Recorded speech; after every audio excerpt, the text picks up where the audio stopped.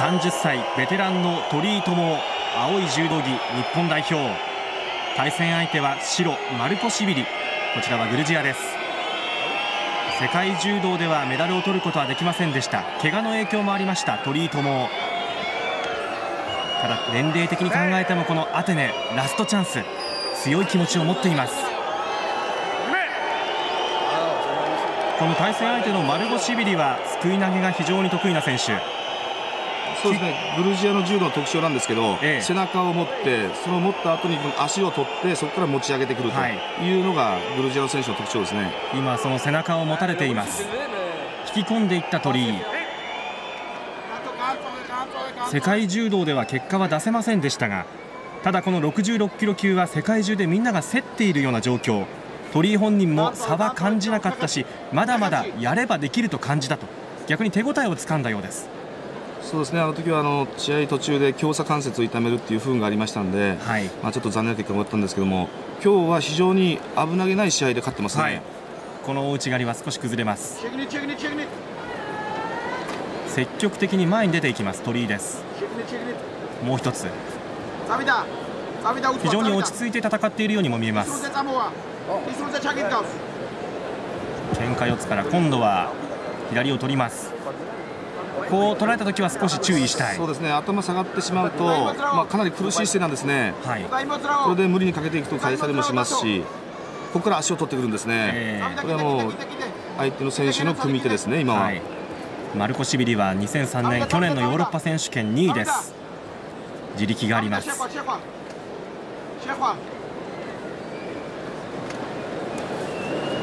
この66キロ級は行動館杯にも出場した鳥居なんですがこの時は内芝に敗れてしまいました。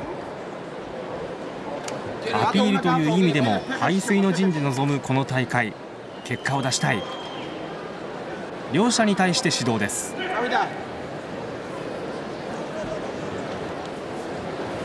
相手を離してここはお互いに釣り手を取ります。今度は引き手争い。喧嘩四つの体勢から今度は逆に。相四つですね今。ええー、相四つに変えます。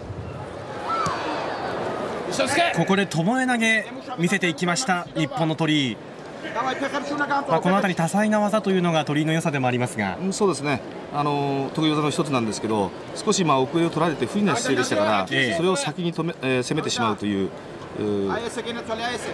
いい攻めだと思います。はいただ斉藤コーチはこの組み手になれば必ず1本が取れるとそういった柱がこの鳥居には欲しいんだ。そう話しました。その辺りの柱をどう作ってくるか、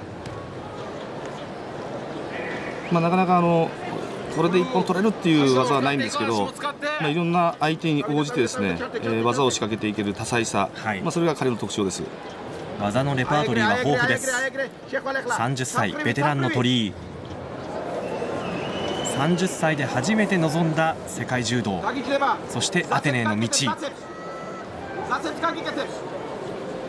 ここまでポイントはともに指導で並んでいます。先ほども言いましたけどグルジアの選手というのは本当に体の力強いんですね、はい、で背中をボンボン取ってくるんですけどだんだんやっぱりあのスタミナがあまりないもんですから、はい、あんまり奥襟が取れなくなってきましたね、はい、少し我慢してそしてこの終盤勝負という戦い方でもいいわけですね。そうですね。もうスタミナあまりないですからそれから、えー、攻めていくと。その2分を切りました。ここから相手は左の奥襟狙ってくるわけですがちょっともう今も鳥居の組み手で攻めれる体勢ですね。はい。もう頭が下がってきています、これ攻めたいですね。さあチャンスになるか。鳥居引いて背負っていく待ての声がかかっています。今日はここまで見事な戦いぶり。決勝までやってきている。そして相手に対して指導。これでポイント有効になってリードを広げました。ここから守りに入るのではなくてどんどん攻めてほしいですね。1分30秒切りました。大内刈り。相手を引きずり回してこの辺りは鳥居の柔道です。もう一つ大内刈りを狙っていきます非常に積極的です。今度は背負い投げ。いや大迫さんいいですね。いいですねポイントリードしてどうしてもこう気持ち的には守守りたいという気持ちになるんですけどやっぱりこうやって続けて攻めることが大事ですね。はい。何かこの大会にかける鳥居の気持ちが伝わってくるようなそんな決勝戦。ここは腕ひしぎ。決まりません。いや力強いですね。いや飛びつきの腕ひしぎ持ってきました。ただこの丸腰ビリのそうですね。あそこまで入るとつられてこう一緒にあの回ってしまうんですけどそれを立ったまま持ち上げてこられましたから、えー、やはり体の力っていうのは相当強いですね。まあ、出す方も守る方もというような攻防でした。ただ丸腰ビリは少し技が出ません。そしてこれで3つ目の指導鳥居にとっては技ありのポイントに変わりました。さあ起死回生ここは下から潜り込んでくる丸腰ビリ。これ先ほどの飛びつきの腕ひしぎ。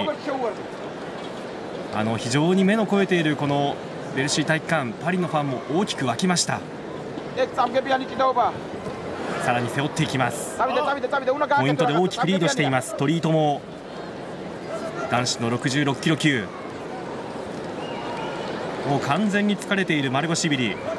あとは一発その技を警戒したい。でもこの最後の時間というのはまた一番決まりやすい時間でもあるんですね、はい、本当にちょっとした油断があの一本取られることもありますから、えー、世界柔道でもね、はい、よく逆転というシーンありましたからね。さあ最後まで集中していきたい。残り時間。ここで試合終了のブザーが鳴りました。日本のトリートも初めてこのフランス国際を制しました。しかも内容のある勝ち方。このフランスのファンも納得するような。そうですね。あのいろんな技も出ましたし。で結果的には危なげのない優勝だったかなという試合だと思います。えー日本代表として初めて臨んだ世界柔道そこから悔しさを学んでそして手応えも同時につかんでこの技のレパートリーベテランの技がさえ渡ります。大きなアピールになりました。男子66キロ級日本の鳥居友見事初優勝です